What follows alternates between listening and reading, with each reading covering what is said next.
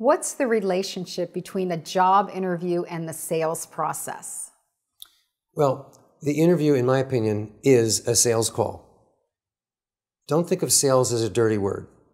People are afraid of sales. A lot of people don't like sales. But when you really think about it, going into an interview, you're selling yourself. You're trying to get them to say yes. You know, you're the salesperson, the interviewer is the customer or the client. So I often talk to my clients about the interview as sales 101. It's basic, fundamental sales skills. All right, this is a real shift from the way interviews used to be conducted, isn't it? Well, in the old days, you know, 20, 30, 40 years ago, it was mostly like an interrogation. The interviewer would ask questions, you would answer. They'd ask you another question, you'd answer, and that was the whole interview. Mm-hmm. That's not how it is anymore. Now you have to go in and be ready to articulate your value in a very compelling way. So you are really making a consultative sales call? Is that what it's about? I think that's a great way to put it, yes. So you're going in as a consultant rather than a job seeker. Is that what you're saying? Well, yes, because it's all about them. It's all about the employer. What do they need? What's their pain point? What problems of theirs are you going to be solving? You've got to be able to sell yourself as, again, the solution provider, the person who can meet their needs and make their business more successful, more profitable, more efficient, more productive.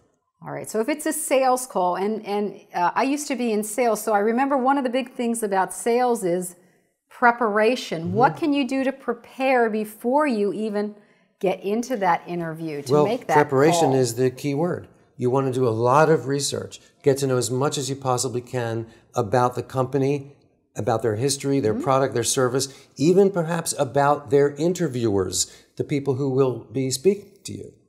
Another thing to think about. Wait a minute, stop there. Yeah. They're interviewers. What, how do I go about finding out about the interviewers? Because before the interview, you can ask the person coordinating it, mm-hmm. whether it's the HR representative or someone else in the administration of the company, ask them who you're going to be meeting with. That's a very reasonable question. And that means that then you can do some research on that person, maybe learn about their history, where they've worked, what are their hot buttons. Then you can come in much, much more prepared, not just with knowledge of the company and their products and services, but also about the people. Right, so you're going to prepare for this sales interview. What if I'm someone that's really not into selling, that I don't feel comfortable, I, am it's really distasteful? How do, how do you coach people to really feel confident and go into it like a sales call? Well, preparation is key. We create tools, for example, the accomplishment stories. If a person knows their accomplishments and can tell those stories very clearly and succinctly, that level of preparation makes them feel more confident, more secure.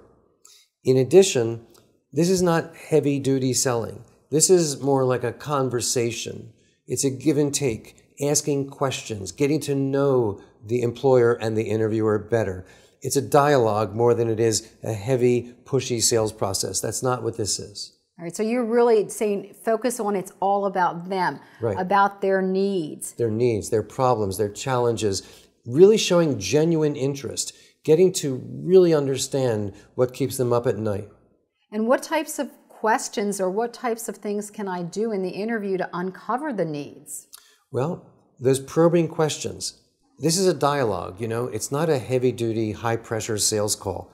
It's a conversation, showing genuine interest in their problems and needs, asking questions to get below the surface, asking questions like, Tell me more about that, please. Or, That sounds really interesting. Can you please elaborate? Or, How do you mean that exactly? Or, What solutions have you tried that maybe haven't worked, and why do you think they didn't work?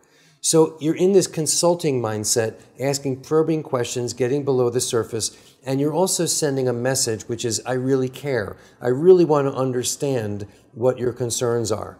That goes a long way in an interview.